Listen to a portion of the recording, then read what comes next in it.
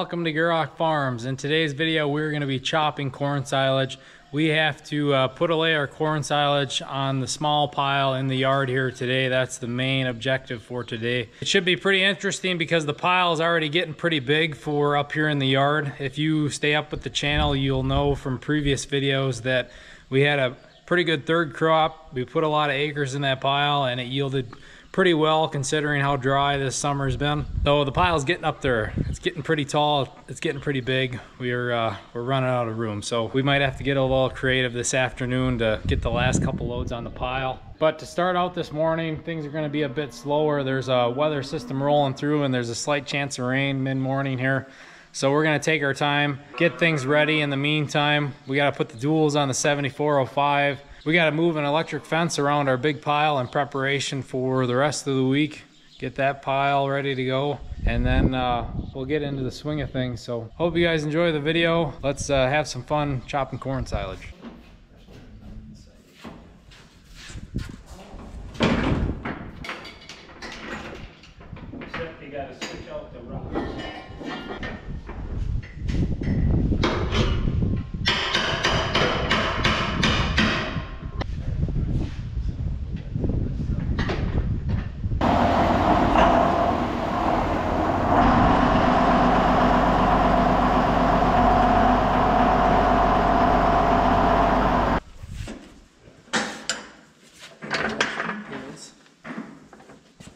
pin right here, like a pin. And some of them are getting loose and they kind of roll out by themselves. So I just cut off a piece of a bolt and stuck it in there. So you gotta kind of hold them in there to, to get that to stay. Otherwise, it's a pretty simple system. These rods come in all sorts of different lengths. You can buy them where you might even need to cut them. So I got, these duals will fit on the 7510.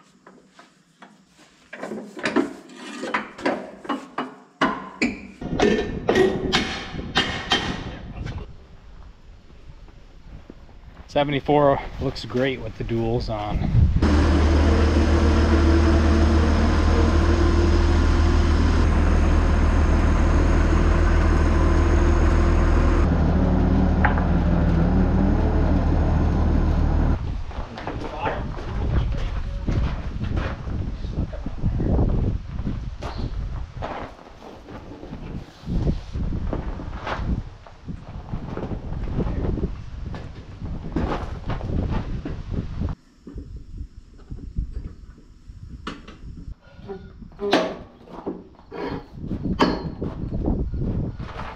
And there we go, another tractor all dualed up, looking good, looking big. That'll be good. Now our two main tractors for the pile are pretty much ready to go. 7510 uh, will be hauling loads more than likely. And these two with the duals on will be packing and, and assisting getting wagons up onto the pile. Now I'm gonna dig out the 686, head down to our other shed and grab our Kewaunee elevator for later today. So I'll explain once we get it up here what uh, we're thinking about trying.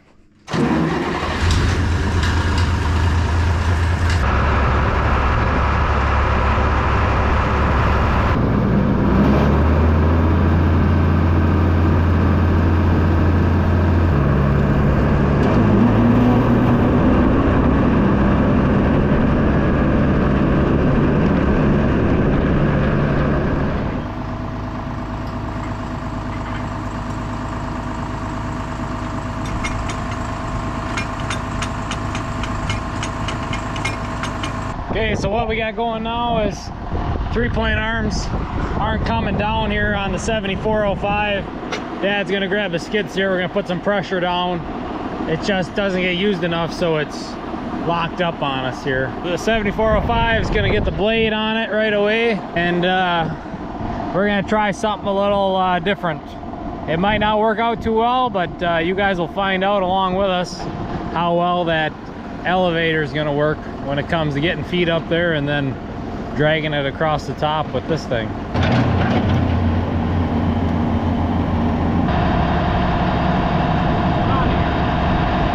Well, it appears we're not able to get our three-point arms to work here on the 7405. We're assuming that a valve just isn't opening and closing on this. It could be electronically in this this guy or something hydraulically.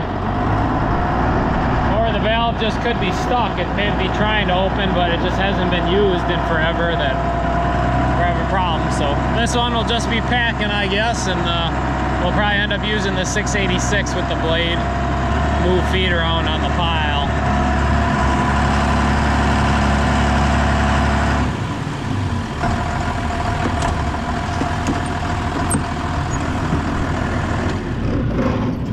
The last time the three-point arms were used on this was uh, when we were using our older brush hog. So it's been used. It's just uh, we're not gonna mess around fighting that when uh, we could be chopping corn. So.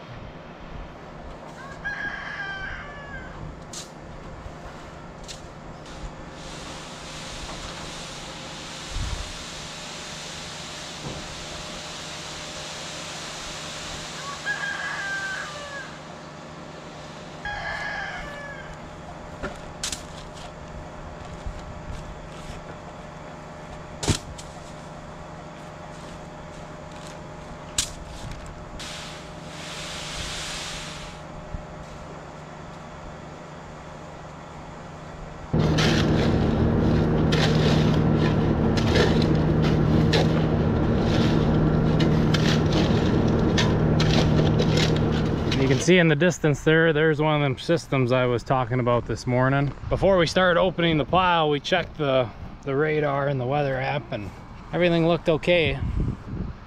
And there looks to be a, a little pop-up shower.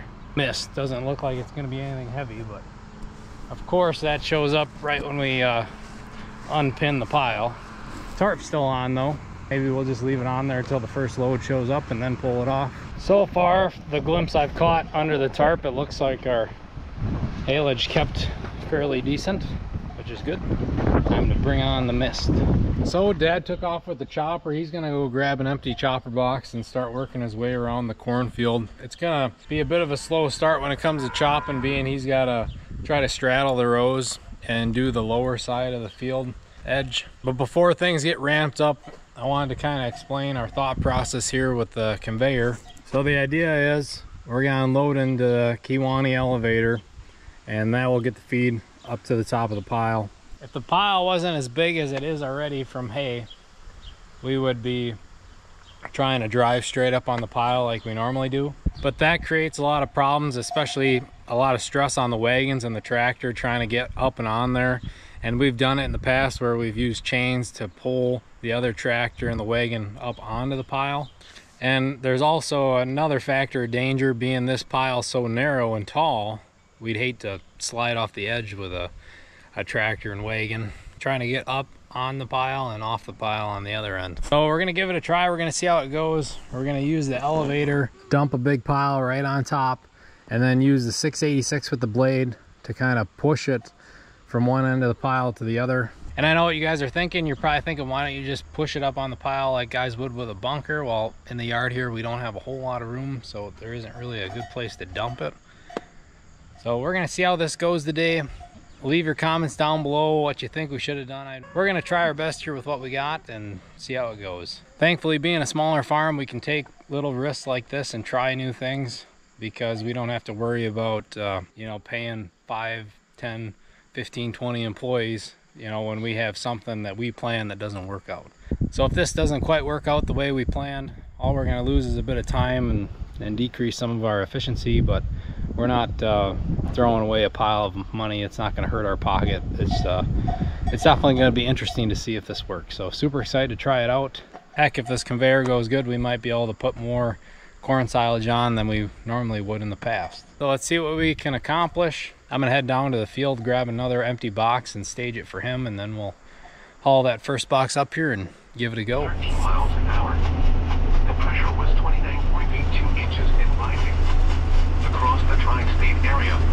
cloudy.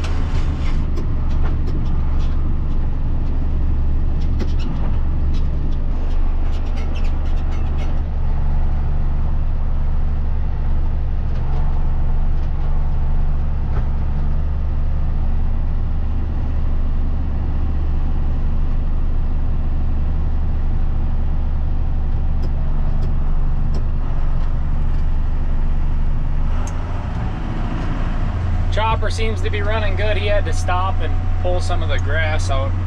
That's uh, pretty common along the edge of the field like that. I'm curious how a crimper head would react to them type of conditions. Would it be better?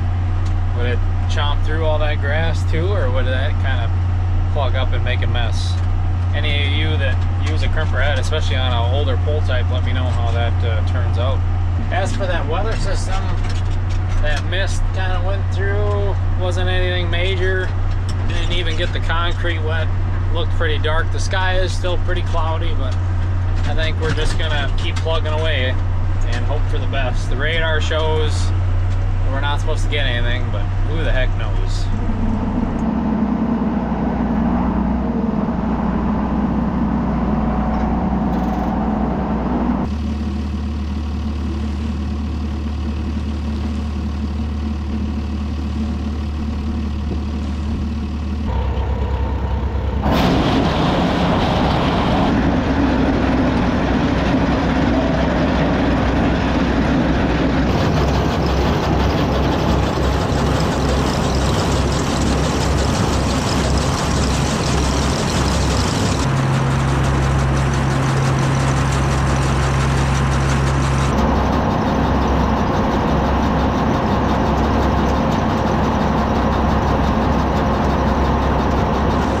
Seems to be handling it okay. Definitely not ideal with one guy, but not to worry. Dad's down there chopping, and our good family friend Steve, he just showed up, so we'll have three guys in the mix, which will make it nicer. One guy on the pile, one guy unloading, and then one guy in the chopper. That'll probably be the, the best way to go about this. Now I'm gonna try to get up there with the 686 and try to push that out and across the pile. We'll see how that goes. It's always kind of tricky getting up onto the pile with the blade in these smaller tractors. All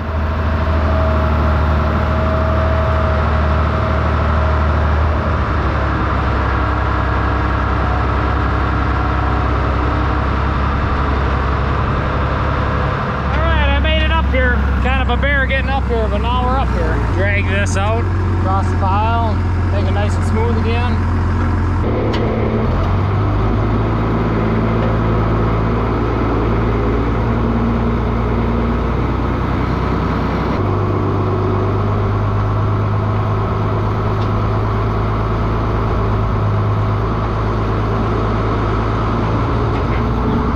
Okay, let's keep unloading and rinse and repeat for a while and get this pile made.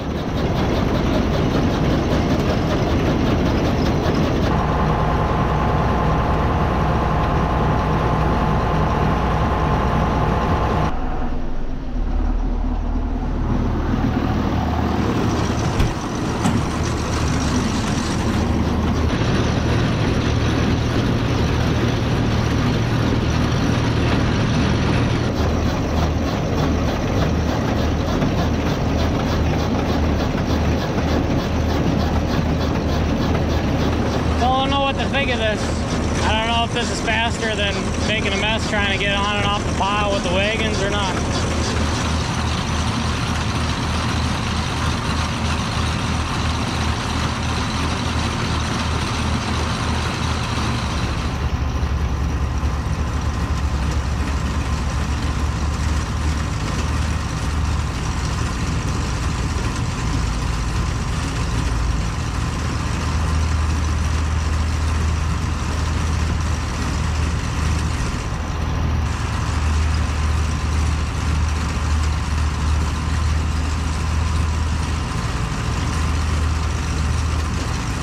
Number two on the pile. Isn't going ideal. It's it's pretty hard getting around with that 686 up there, especially with this misty weather and conditions.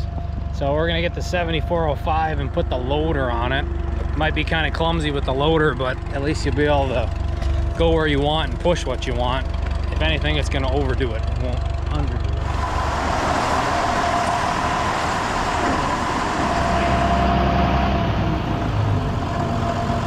Update. We got the loader on the 7405. That took a little bit longer than I wanted it to. This should work a lot better having this four-wheel drive up here. It's too bad we couldn't get the three-point to work earlier, put the blade on it. I'm just, that's kind of irritating, but what do you do? We got the loader. Things will work nice now. Mason, he uh, didn't have class today. He spontaneously didn't have class today, so this will work out.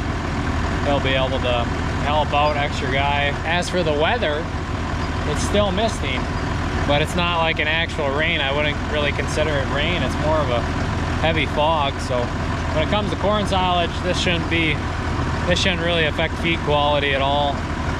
If anything, it might just uh, affect getting on and off the pile with our tractors and now having the four-wheel drives up here but uh, it'll go a lot better really weird weird weather patterns lately the past couple days up until today were super hot 100 degree weather and now it's cooled right off 70 or lower. It's supposed to be a high of like 65 tomorrow and and then we got this kind of stuff today this mist but it's so dry out.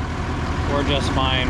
Also dad was asking me what I thought if we should put more on or not and I told him since we went through all the hassle getting all this stuff set up if we got it working we might as well really heap this pile up and make a big pile up here which will be cool to see. I'm excited for that. See how much feed we can get here in the yard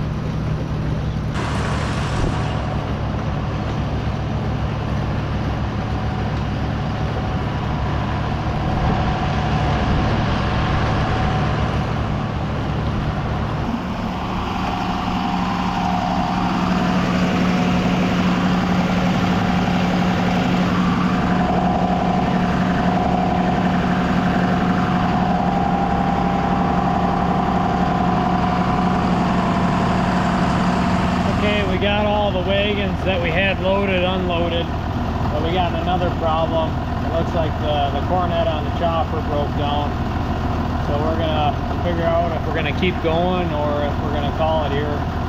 Uh, ideally, if we, uh, if we can get the chopper going again, we're just gonna keep going, I think.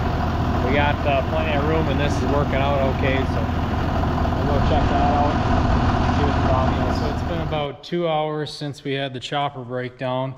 And uh, what exactly broke down was one of the knives on the corn head, the bolts that hold all that together sheared off. I'm guessing it's just from fatigue over time and then the way we uh, open up fields where we got to go back in and try to pick up the stalks off the ground. I'm sure that's pretty hard on them them knives, that big entire mechanism, trying to dig in the dirt like that and pick all them stalks that we had to run over in order to open up the field. But in that time, Dad and Steve worked on that. It was kind of in a spot where you couldn't have more than one or two guys working on it anyways. So then Mason and I fed up in the barn, got ready for milking. And then we also went down and moved the electric fence around our big pile down there, so that's ready for tomorrow. And then I fueled up all the tractors. I staged a couple piles of tires, so those are ready to go for when it's time to cover. We're thinking we're gonna put probably two more loads on this pile. It's getting pretty big, but it'll be nice to have it up here. It's gonna be way bigger than normal. Just as we get towards the end here, we just gotta be careful that we don't uh, slide off the edge or anything crazy like that. Just gotta take our time. This will be by far the biggest I've ever seen this pile in the yard. Probably the biggest it's ever been since my dad's been farming here, which will be great. Even though it's a lot more putzing around here with the conveyor and the loader tractor. We had some teething problems when it came to this setup, but we, I think we got it fairly figured out now where it'd be pretty efficient. If we wouldn't have had that chopper breakdown, we would have been done and probably had the pile covered by now. But the extra hassle here is gonna save us time when it comes to hauling feed out of that lower pile during the winter. And I would much rather move feed out of this pile into the winter longer than out of that pile down there. So this would be great to have more of our feed up here in the yard, right next to all the barns. It'll be a lot easier to move this, a lot less messing around. So what I'm trying to get at is the, the pain now, pulling apart a pile and doing this crazy stuff should save us a lot of time this winter. Right now, Steve's back in the chopper down there, going on some nice long straight rows. Dad went down there to grab the next wagon. Hopefully that repair is holding up and uh, everything's going smooth down there. Okay, things have been coming along pretty well here for the last little bit of putting this file together.